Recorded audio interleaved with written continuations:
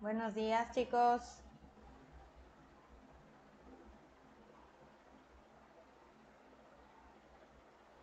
Buenos días.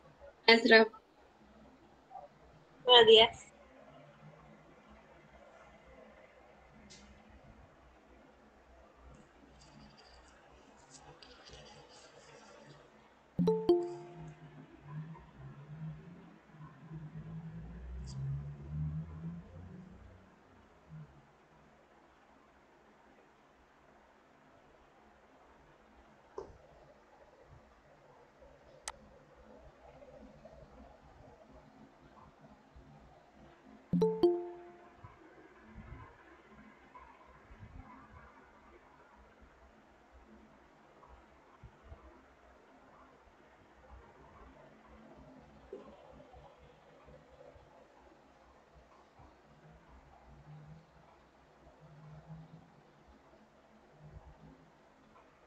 Bien, vamos a empezar.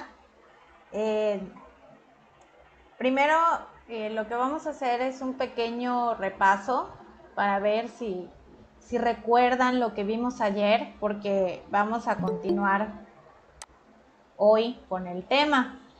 Entonces, eh, me gustaría que me fueran diciendo qué, qué recuerdan de lo que vimos ayer.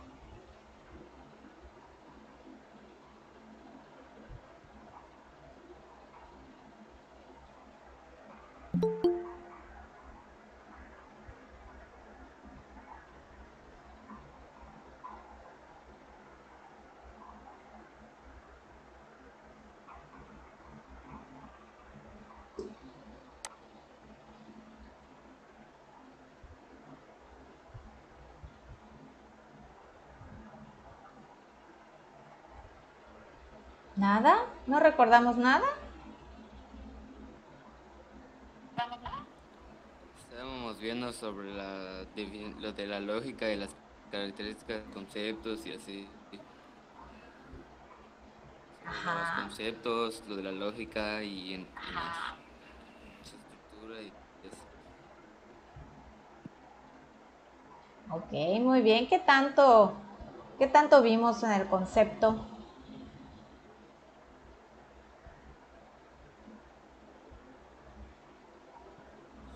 sus características, cómo se conforma, eh, eh, cómo es y así. Muy bien, gracias Moisés. ¿Alguien más quiere compartir lo que recordó de la clase de ayer, lo que recuerda de la clase de ayer?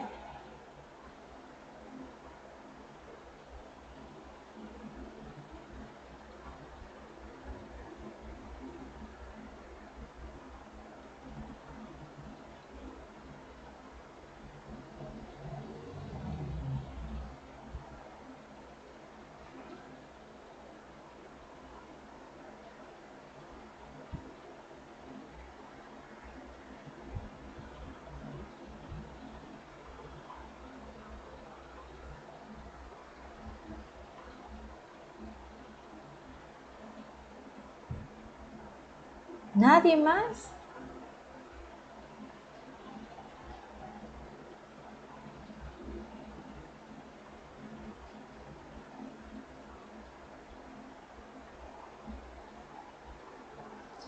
La clasificación de conceptos por su extensión, por su composición y por su perfección. Muy bien, gracias. Todavía no abordamos los de perfección, pero sí Vimos es- los tipos, Dime, hija, dime. Vimos los tipos de conceptos. Los tipos de conceptos, sí. Muy bien, gracias. ¿Algo más?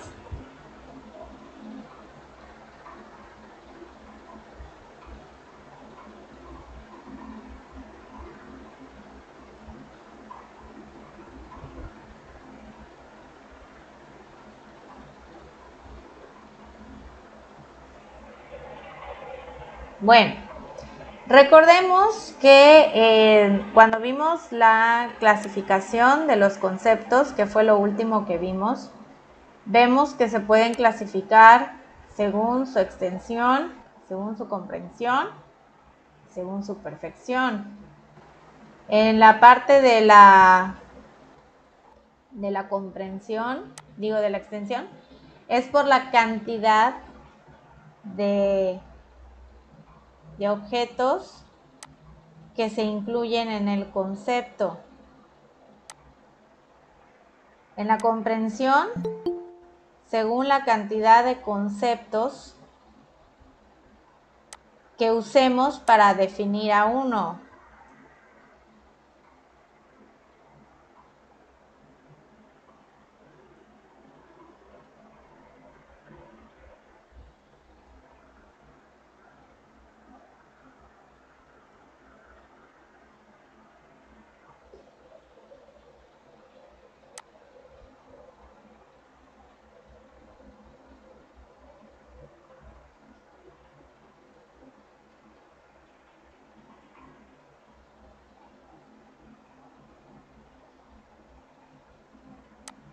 Y pues de cada tipo hay varios, varios conceptos que se manejan. Ahora, vamos a ver los que se clasifican según su perfección. Aquí tenemos tres tipos de conceptos, eh, empezando por los conceptos claros. Los conceptos claros son aquellos que podemos distinguir con precisión con respecto a otros que pudieran ser parecidos. Cuando hay claridad en la comprensión del, concepto, nos podemos decir con toda seguridad que ese concepto es esto, esto, esto. Y nos queda clarísimo. A eso se refiere.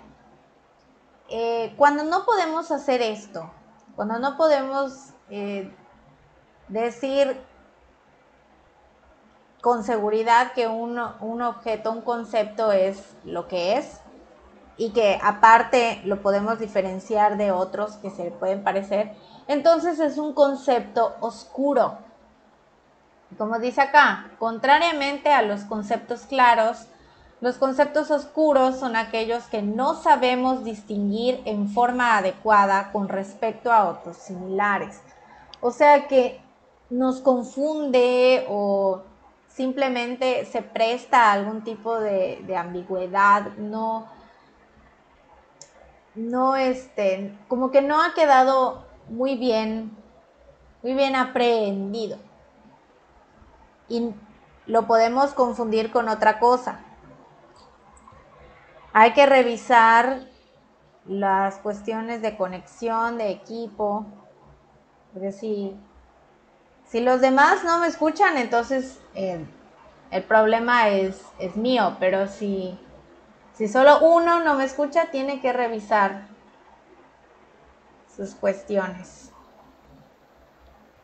Y bueno, eh, cuando nos queda completamente eh, entendido lo que es el concepto, es un concepto claro. Cuando no nos queda o nos confunde todavía qué es, es un concepto oscuro. Los conceptos distintos, que es el otro tipo, de alguna manera eh, este tipo de conceptos complementan a los anteriores. Son aquellos conceptos que además de conocer en forma exacta sus características básicas o esenciales, Profundizamos en ellos logrando tener un conocimiento muy completo o exhaustivo. Un concepto se puede eh, volver claro, o sea, puede ser claro y distinto a la vez porque podemos diferenciarlo de otros, pero en el caso del concepto distinto, digamos que hay como que una especialización casi casi nos volvemos expertos en ese concepto. Si ponemos el ejemplo de, del corazón, por ejemplo, nosotros nos queda claro qué es un corazón, ¿sí o no?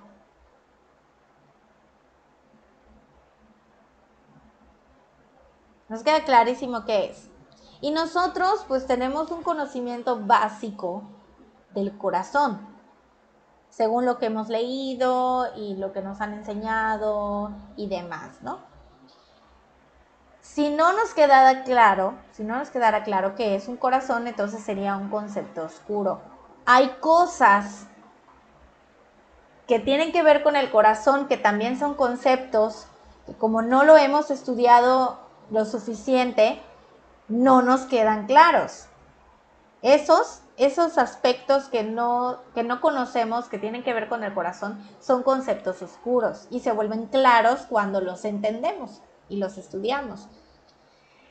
Pero si siguiéramos hablando de esto y fuera de conceptos distintos, yo, como persona normal que me han enseñado qué es el corazón, pues yo tengo mi, concepto. Pero una persona, un doctor que se dedica al área de cardiología, él tiene un concepto distinto, eh, pero referente a que se especializa en el corazón. Entonces tiene un conocimiento más avanzado de este órgano vital y tiene un concepto distinto, más profundo. ¿Ok? Esto es la última parte en cuanto a la clasificación de los conceptos. Vamos con las operaciones conceptuadoras. Estas operaciones son actividades que hacemos en la mente para que formemos y funcionen los conceptos que ya tenemos. Esto lo empezamos a formar desde chiquititos, como, como todo lo que hacemos. Y tenemos tres maneras o tres operaciones conceptuadoras. La primera es la definición, la segunda es la clasificación y la tercera es la división. ¿Quién me puede decir a qué creen que se refiere con definición? ¿En qué consiste esta operación?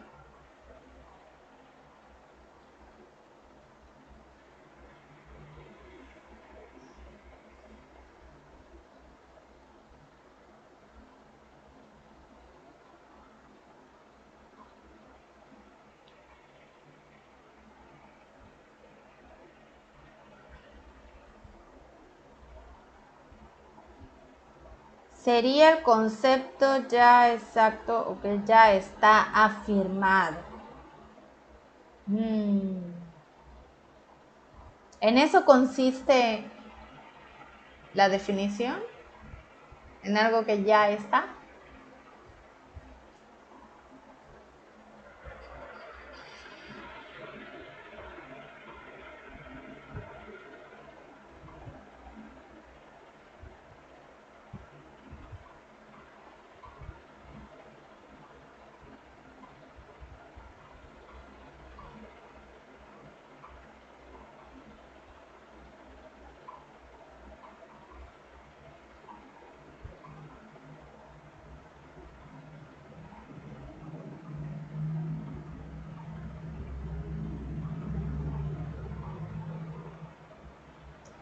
Definir algo mediante fusiones cognitivas o solo la información exacta de algo.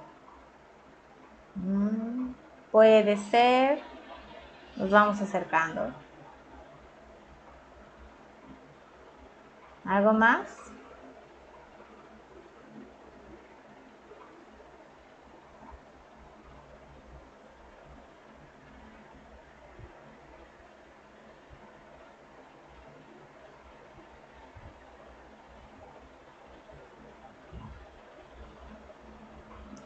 El significado específico de algo.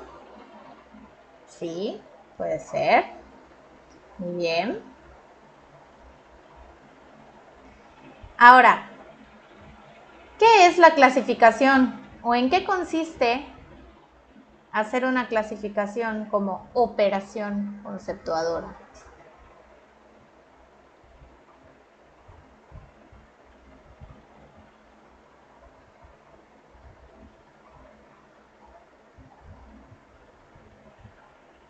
Agrupar factores similares.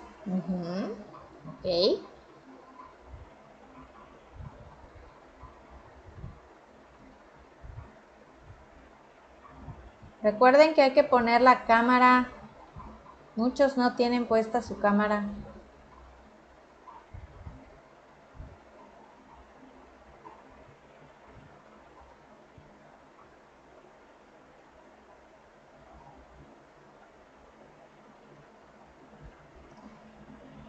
Ok. Está bien.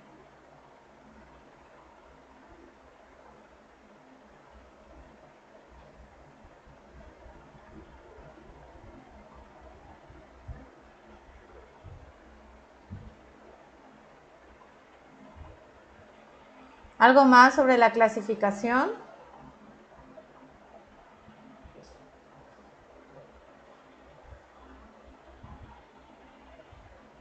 Organizar algo de forma específica. Puede ser. ¿Qué más?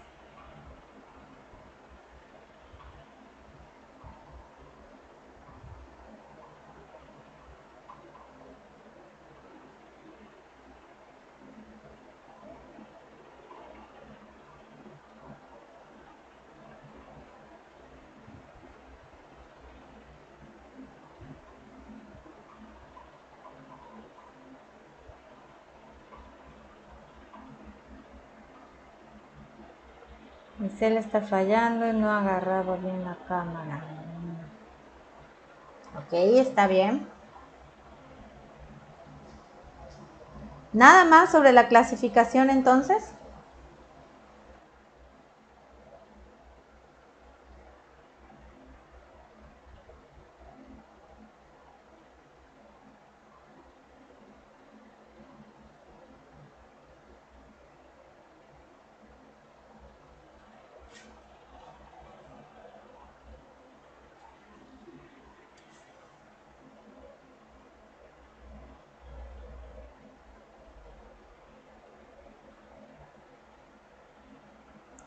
Dividir en grupos los factores importantes de algo. Ah, ahí hay un detalle. No hay que confundir clasificación con división. Clasificar es una cosa y dividir es otra. Y tienen funciones completamente distintas. Lo que me acabas de decir, María Ángel, es de división. Y ya que comenzamos con eso, ¿qué más me pueden decir sobre la división?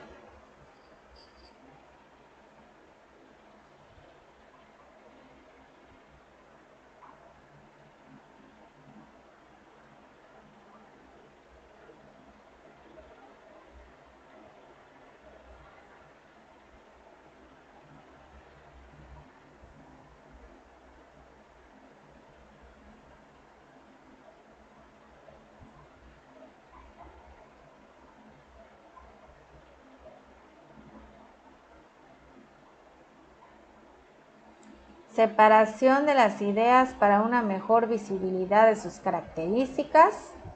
Ok. Nos estamos acercando muy bien. Es la acción de separar cada parte de la estructura de algo o partes específicas. Sí, muy bien. Excelente. ¿Algo más?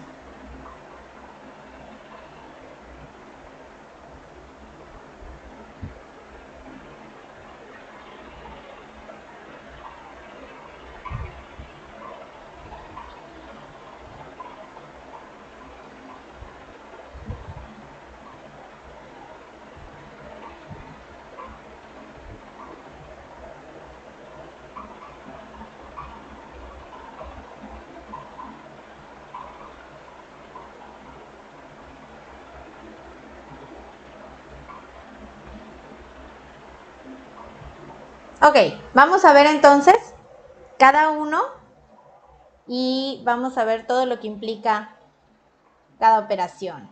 Empezamos con la definición. La definición permite aprehender, acuérdense que esa palabra es por aprehensión y no de aprendizaje. Permite aprehender y caracterizar a los objetos mediante la búsqueda de sus notas esenciales. O sea, es la manera más común de formar un concepto, lo que normalmente hacemos. Veo el objeto, veo cuáles son sus características esenciales y digo, esto es esto según, según las características que tiene. Entonces, esa es la definición. Decir qué es y cómo se define según esas características. Cumple una función muy importante en el conocimiento. Ahorita vamos a ver para qué sirve hacer definiciones. Primero que nada, aclara qué son los objetos. Para que tengamos un concepto claro de las cosas, hay que definirlas. Y al definirlas, se logra la claridad. Determinar sus características básicas importantes o esenciales. Al hacer este proceso en la forma más común, pues vemos esas características que al objeto no le pueden faltar y que hacen al concepto completo. Eliminar confusiones o ambigüedades. Una vez que te queda claro qué es y sus características, pues ya no te vas a confundir. Sabes perfectamente qué es el concepto, aunque tuvieras los, los conceptos que se le parecen, pero pues tú sabes perfectamente qué es o cuál es.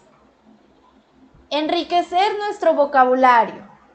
Mientras más conceptos conocemos y que nos queden claros, más, más palabras podemos pronunciar, más oraciones podemos formar, más razonamientos, etcétera, etcétera, etcétera. Entonces, por eso cuando somos niños, lo primero que nos enseñan son palabras y eso, con eso vamos formando conceptos y cuando se está aprendiendo a hablar, pues mientras más palabras dices, mejor.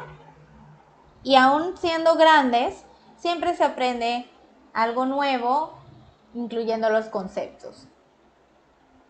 Aumentar nuestros conocimientos. Eso es punto con pegado. O sea, mientras más conceptos conocemos, se, ampliamos el vocabulario y el conocimiento.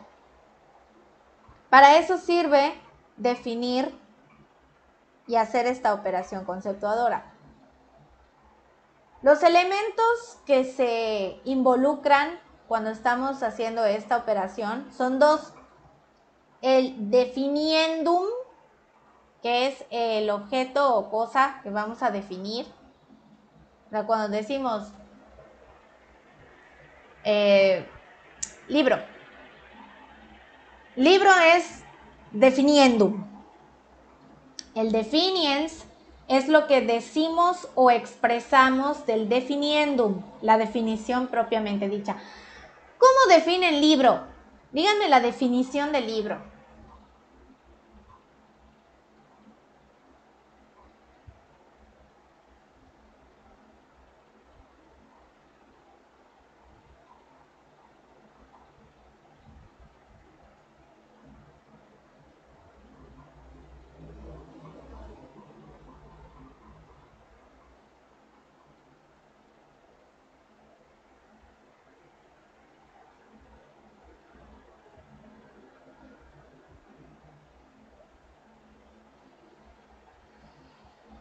Estamos muy callados hoy.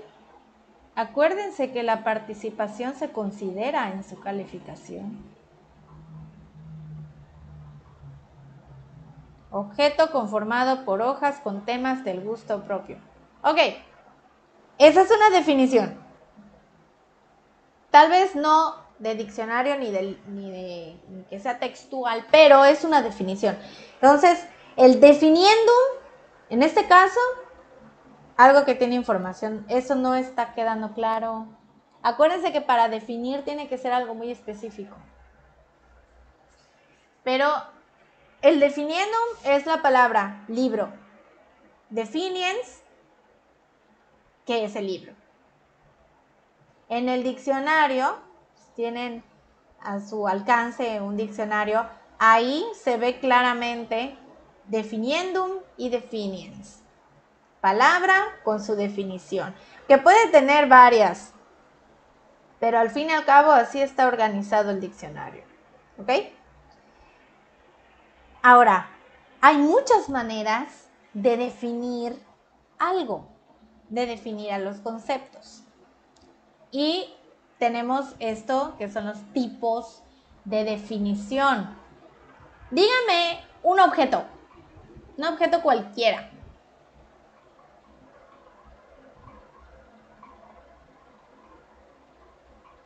Lápiz. Ok, vamos a agarrar al lápiz. Vamos a agarrar al lápiz. El borrador, bueno, el borrador, porque el lápiz lo vimos ayer. Vamos a agarrar el borrador. Ok.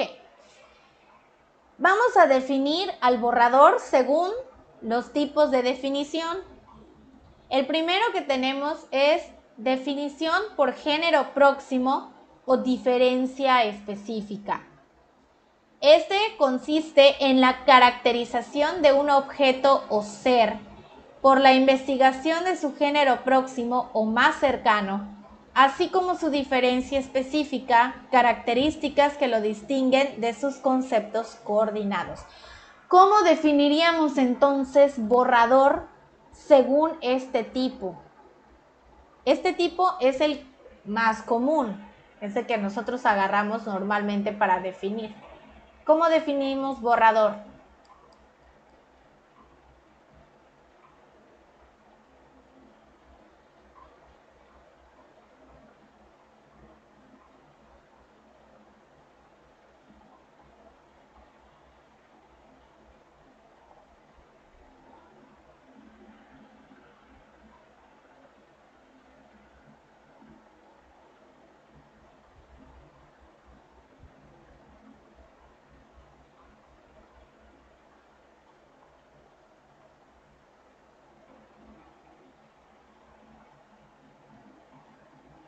Objeto que consiste en borrar algo mal escrito. Ok. Ahorita vamos a ver en las reglas ciertas cosas que hacen ustedes ahorita que están tratando de definir. Se usa para corregir errores hechos con lápiz. Goma que sirve para borrar.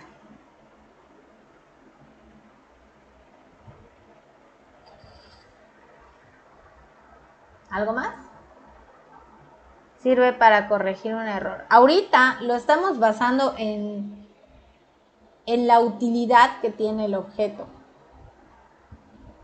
Objeto que utilizamos para corregir alguna mala escritura. Ajá, ahorita estamos basando la definición en la utilidad que tiene. ¿Creen que eso, el hecho de que corrija errores, ¿es algo esencial del borrador?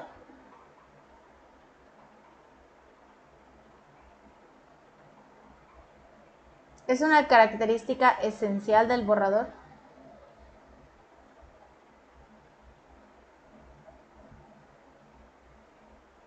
Por supuesto que sí, sí lo es. Entonces, al definir por género próximo, estamos considerando las, características esenciales del objeto, que si no las tuviera, entonces no sería. Su tamaño puede variar al igual que su color y presentación, por supuesto que sí. Eso es un tipo también de definición que ahorita vamos a ver.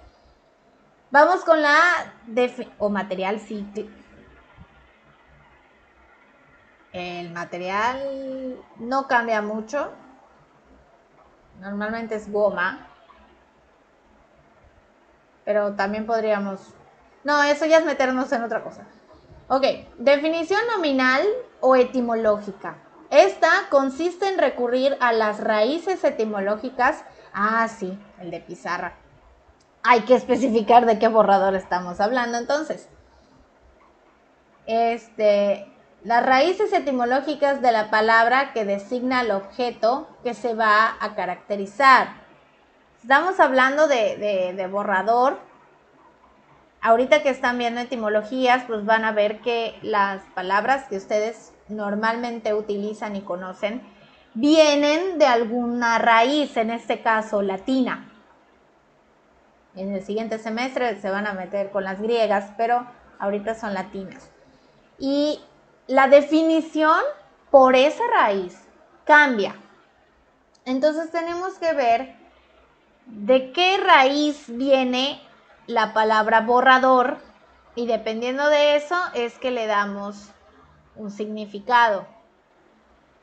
Y casi casi es un significado literal por el tipo de, por la raíz de donde proviene. La definición genética. En esta definición se caracteriza el objeto señalando su origen o proceso de formación. O sea que al definir borrador, aquí nos vamos a centrar de qué material está hecho, cómo, cómo se elaboran los borradores. La goma, ajá, está hecho de goma mayormente los que son para borrar lápiz. Ya vimos que hay diferentes tipos de borradores que están hechos de otra cosa. Pero la esencia en este tipo de definición es decir de qué está hecho y el proceso. La definición real es la definición teórica que proporcionan los científicos y especialistas. Esta es más, más detallada y más técnica. O sea, no, nosotros le llamamos borrador, pero los científicos seguramente tienen otro nombre para este utensilio. Y eso es una definición real, porque es lo que más se acerca a la realidad. Cuando vemos en algún artículo científico que en lugar de decir, por ejemplo, eh, planta de chaya, tiene su nombre científico, entonces ahí estamos hablando de una definición real, tiene el nombre y qué es, pero lo más acercado a la realidad posible según la ciencia. Definición accidental o por accidente. Como su nombre lo indica, este tipo de definición caracteriza al objeto ya no por sus notas esenciales, sino por las accidentales, y sin embargo, logra determinar los objetos que se propone caracterizar. Hace ratito que María Ángel comentó de qué es el tamaño, qué es el color, qué es eso eso son características accidentales y podemos definir al objeto con esas características también. Muchas, así, la, muchas veces nos vamos porque esas características son esenciales, o sea que si no las tuviera, pues no sería el objeto, como ejemplo la manzana. La manzana es muchas veces es una fruta roja y la, la, la, y sabemos que las manzanas no solo son rojas. Hay amarillas, tirando a verde, pero pues hay de otros colores, no precisamente rojas, y eso ya se vuelve una característica accidental. Recuerden que hay que llegar temprano a la videoconferencia. Estamos llegando 39 minutos tarde. Por favor, si tiene un problema de conexión, lo tienen que avisar, porque si no, no se les considera la asistencia. La definición ostensiva es una definición que se acompaña de algún ademán que lo señale, o sea, es demostrativa. Cuando muchas veces, cuando no nos queremos eh, gastar en palabras y simplemente queremos dejar claro qué es algo, decimos, bueno, este, ¿qué, qué es una taza? esto es una taza. Y ya, ese es el tipo de definición ostensiva.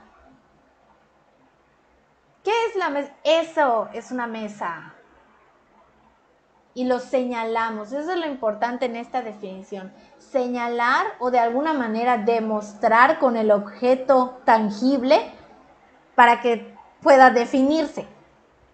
¿Ok?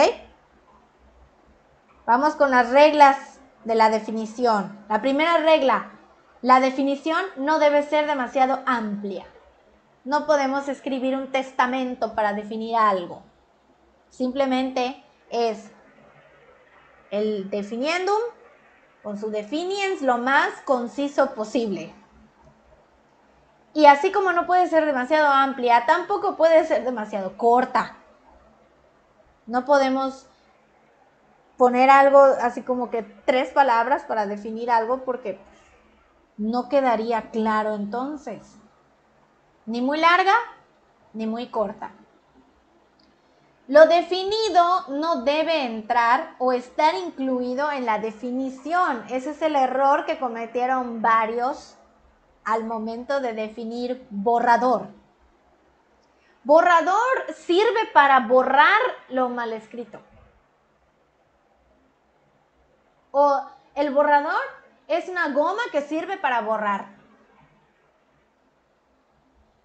No, señores, no, señoritas. No podemos incluir lo que estamos definiendo en su definición. Es un error muy común que cometemos y hay que evitarlo. Evitar círculos viciosos también.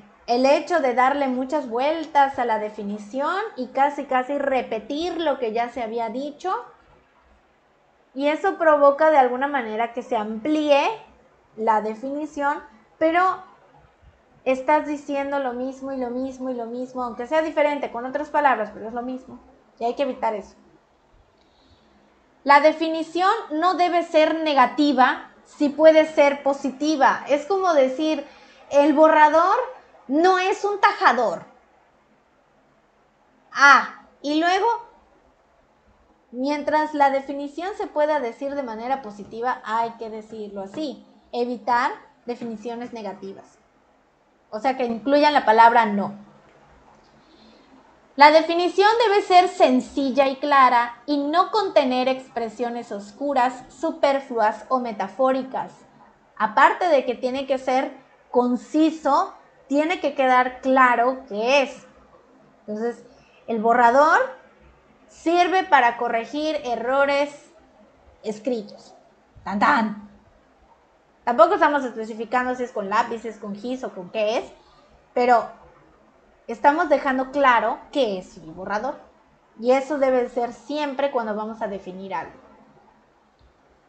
La clasificación consiste en ordenar en forma metódica diferentes conceptos subordinados que se derivan de un supraordenado. Cuando hacemos una clasificación, tenemos los conceptos generales y cuando vamos especificando y bajando, se hacen clasificaciones dependiendo de qué estemos hablando. En esta operación intervienen los siguientes aspectos. Primero, el concepto que vamos a clasificar. Segundo, el criterio clasificador. ¿En qué nos vamos a basar para hacer la clasificación? Por ejemplo, si yo tuviera eh, una colección de películas y digo, quiero clasificarlas porque pues están así como que muy desordenadas. Entonces, ¿en qué me voy a basar para hacer la clasificación? Puede ser en orden alfabético, puede ser por género, puede ser por, por año de lanzamiento, suponiendo, ¿no? Y hago mi clasificación basado en el criterio que yo elijo y los miembros de la clasificación, o sea, todos los que se incluyan en, en la clasificación según el criterio elegido. Vamos a ver las reglas de la clasificación. La primera, los miembros de la clasificación deben obtenerse de acuerdo con un mismo criterio clasificador. Si mis películas las voy a clasificar por género, entonces deben ser todas clasificadas por género. No voy a, usar otro criterio para clasificarlas y que luego se cree confusión al momento de hacerlo. Segundo, la clasificación ha de ser completa y exhaustiva. O sea que de todas las películas que yo tengo, a todas las tengo que clasificar.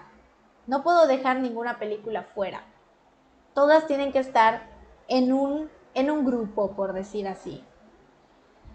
En la clasificación que se elabora, un miembro no debe estar incluido en otro, es decir, deben excluirse mutuamente. O sea que si yo tengo una película que puede pertenecer a varios géneros, pero no puedo poner a la película en cada uno de esos grupos. Vamos a suponer que es una película cómica y romántica. Y tengo mi grupo de las románticas y mi grupo de las cómicas. No puedo dividir a la película y ponerlo en, los dos. O lo pongo en un lado o lo pongo en el otro. Y todo lo que se clasifique funciona así. O, lo, o entra en una clasificación o entra en otra. Y la clasificación debe seguir un orden lógico. Obviamente, de eso estamos hablando, que lo, que lo debemos mantener ordenado y si hacemos todo lo demás correctamente, entonces vamos a tener ese orden lógico, que no quede todo disparatado.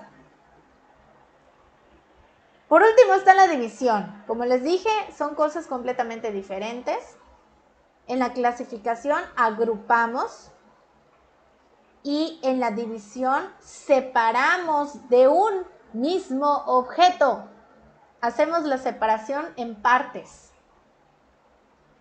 Y eh, nos sirve mucho para analizar parte por parte un todo. Aquí les tengo la imagen de un, de un bebé, es un humano, y pues está su división según sus extremidades, la cabeza, los brazos, su cuello, el torso, piernas, pies, etc. Así está dividido este cuerpo. Vamos a ver las reglas. En una división efectuada, todas las partes deben ser consideradas. Si estoy dividiendo al cuerpo humano por partes en extremidades, tengo que considerar todas las extremidades que tiene el ser humano, desde la cabeza hasta los pies. En una división efectuada, una de las partes no debe estar incluida en otra. O sea que no puedo incluir un brazo en una pierna o decir que son lo mismo. No. Tengo la pierna de un lado y está en otra parte y la pierna es otra cosa. Brazo, pierna. Las partes de la división obtenida tienen que ser de la misma especie. Cuando ven al cuerpo humano en la primaria, normalmente al aprender sobre los sistemas que tiene el cuerpo humano, no se los ponen todos en una misma imagen y tampoco lo ven en la misma clase. Primero se enfocan en, la parte externa, las extremidades, y luego que vamos a ver el sistema circulatorio y te muestran la imagen del sistema circulatorio nada más y cómo está dividido. Y que si vamos a ver el sistema gástrico y te muestra nada más los órganos incluidos en ese sistema y su división, no lo ponen todos juntos. Y pasa lo mismo que con el criterio de la clasificación, o sea, no podemos incluirlos al mismo tiempo. Y la división tiene que seguir un orden dado por el objeto que está dividiendo. O sea que eh, hablando del cuerpo humano, pues normalmente como empezamos de arriba para abajo y es un orden que seguimos para hacer esta división. ¿Dudas?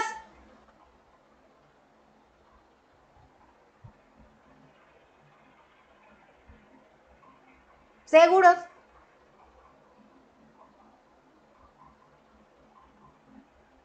Muy bien. En la clase de mañana, mañana nos toca clase, ¿verdad? Sí.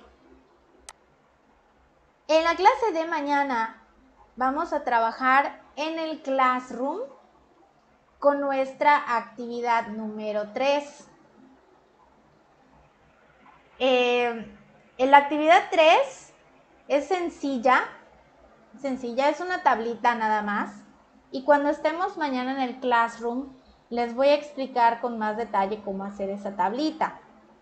En las instrucciones del HADA aparecen los aspectos que le van a incluir, pero eh, estando ya mañana en Classroom, les pongo en el comentario cómo lo tienen que hacer específicamente. Y obviamente si hay dudas, tenemos esa hora de clase y la atención a dudas en la tarde para que se aclare.